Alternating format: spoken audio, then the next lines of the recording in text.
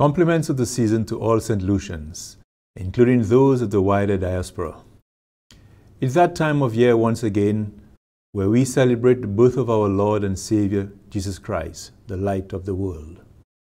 As parliamentary representative for Choiseul Saltibus, I would like to specially acknowledge the proud and diligent people of my constituency. It is always a privilege to deliver this annual Christmas message at this joyous time of year, where I can highlight some of the achievements of my constituency, as well as share some of the significant achievements of my ministry as the Minister with responsibility for commerce, international trade, investment, enterprise development, and consumer affairs.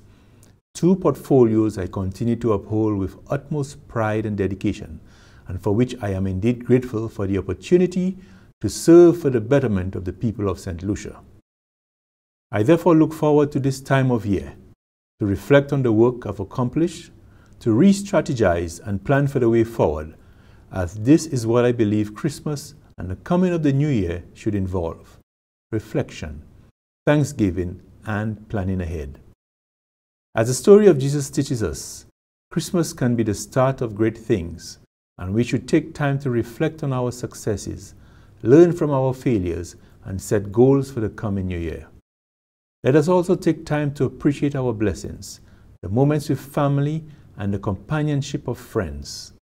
Let us also remember to give thanks and praise to the good Lord for having spared St. Lucia from the ravages of this hurricane season and continue to pray for the people of Abaco Islands and its sister island, the Bahamas, in their rehabilitation and recovery efforts.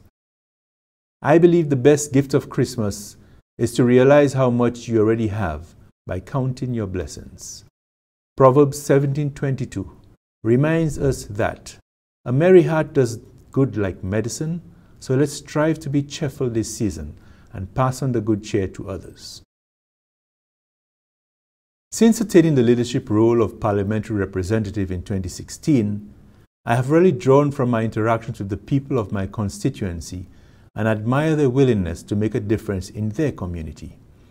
To the people of Choiseul and Saltibus, your love, kindness, and sense of community and camaraderie are worth emulation and acknowledgement. Your level of togetherness was particularly exemplified during the recently held Creole Day celebrations in Choiseul, which was hailed a success. I must also acknowledge and commend the youth of the community for their active involvement in the various sporting, festive, and recreational events. As parliamentary representative, I will continue to create pathways for youth development in Choiseul and Saltibus, as the youth are the future leaders of tomorrow, and we need to create opportunities for the growth and development. One particular initiative geared towards this involves the ongoing works on the lighting project at the Lafargue playing field to help build and strengthen the sports skill set of the youth. My goal is to continue such projects in the coming years in order to contribute towards the development of the people of Choiseul Saltibus. Saltibus would have benefited this year from a road rehabilitation project to help improve the transport network in the community and mitigate against flooding. Residents of Saltibus would have also benefited more directly from this project as contracts were awarded to them to carry out maintenance works. These and more are just a few of the projects rolled out this year in my constituency. In the coming year, I, I also look forward to the launch of our farmers' village at Bungalow, the increased capacity and more efficiency from the Delcer irrigation project, in addition to the many opportunities associated with village tourism. Thank you to all the residents of Choiseul Saltibus for your support in our efforts at improving the visibility of Choiseul and Saltibus by showcasing our rich culture, talent, and skill. I trust that we will have a revitalized Choiseul Saltibus in the coming years. As it relates to my other portfolio as Minister with responsibility for commerce, I wish to add that I have gained a greater appreciation and understanding over the years of the work being done by the Ministry of Commerce in our efforts at facilitating greater trade and investment and enhancing private sector development. The Ministry and affiliate agencies continue to work collaboratively towards developing policies and programs to enable private sector development, attract investment, and foster trade. This year, for instance, St. Lucia served as chair of CARIFORUM and hosted the 25th meeting of the Council of Ministers of CARIFORUM in March. As Minister for Commerce and International Trade, I led in the signing of the CARIFORUM UK Economic Partnership Agreement.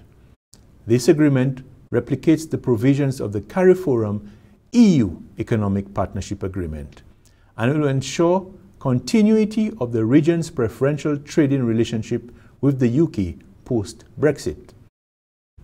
It also repeats commitments on development cooperation to support implementation and use of the agreement. This was important to St. Lucia to ensure that our business continue to export goods and services to the UK under the same preference and conditions which we currently enjoy once Brexit takes effect. Additionally, as part of the ministry's efforts to propel the growth of our service industries, as you may well agree, St. Lucia has a rich and dynamic service sector. The Cabinet of Ministers recently approved a request by the Ministry to amend the Fiscal Incentive Act to include approved services sector for fiscal incentives and to facilitate the expansion of existing manufacturing enterprises that have exhausted the existing tax holiday period.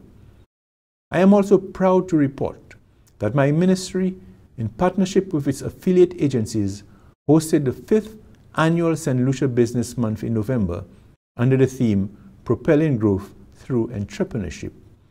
We continue to see the interest in entrepreneurship growing in our economy as a result of the activities of Business Month. Even more importantly, the interest and participation of persons from the South has also grown, and with the launch of the Southern Business Association during Business Month, we can only anticipate a further growth of entrepreneurs from the south of the island. The ministry, in partnership with the Embassy of the Republic of Taiwan, also just brought down the curtains on the hosting of the 12th annual St. Lucia Taiwan Partnership Trade Show. This year, 45 St. Lucian businesses participated in the trade show and eight companies from Taiwan from sectors such as art and crafts, food and beverage, and fashion, to name a few. The trade show allows for the showcasing of new and upcoming products and services that are now available on the local market. We continue to see the growth and expansion of businesses as a result of their participation in the trade show, given contracts being entered into between manufacturers and distributors for the provision of locally made goods and the supply of services. From the trade perspective, the ministry is moving with great vigor in achieving its trade facilitation agenda in order to meet its obligation under the World Trade Organization Trade Facilitation Agreement. This involves pursuing reforms aimed at expediting the movement, release, and clearance of goods to the benefits of the business community and consumers alike. Such reforms will include the development and implementation of a port community system electronic single window. This, among other initiatives, will contribute towards the ease of doing business in St. Lucia, thus making our economy a more seamless environment for transacting business. The ministry will continue to pursue reforms in the coming new year with the hope of realizing a significant improvement in our performance in the various indicators which measures our global ranking.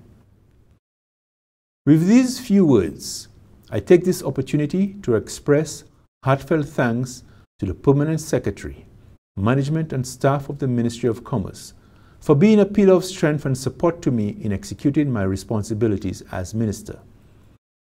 To the management and staff of the affiliate agencies of the Ministry, including the St. Lucia Bureau of Standards, Export St. Lucia, Invest St. Lucia, Chamber of Commerce, and St. Lucia Coalition of Services Industries, St. Lucia Industrial and Small Business Association, St. Lucia Manufacturers Association, the National Consumer Association, among other agencies. A huge thank you for your perseverance and commitment in ensuring that we meet our mandate of enabling private sector development, facilitating, facilitating trade and investment, advancing consumer interests, and growing our economy one business at a time.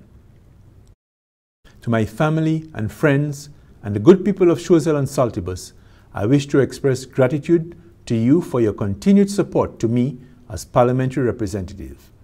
To the Honorable Prime Minister, other esteemed members of Cabinet, members of the opposition, the business community, the public sector, and the people of St. Lucia, wishing you a joyous Christmas and a bright and prosperous 2020.